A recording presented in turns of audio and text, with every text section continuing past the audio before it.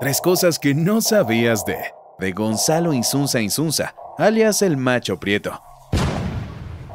Se cree que nació un 17 de agosto de 1970. Otras fuentes dicen que en 1971, aunque siempre el mismo día.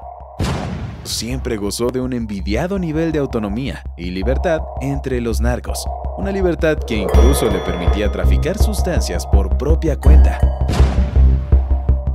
El 18 de diciembre de 2013, en una emboscada realizada en Puerto Peñasco por elementos de la Marina de México, la leyenda del violento y sanguinario Gonzalo Insunza Insunza llegó a su fin.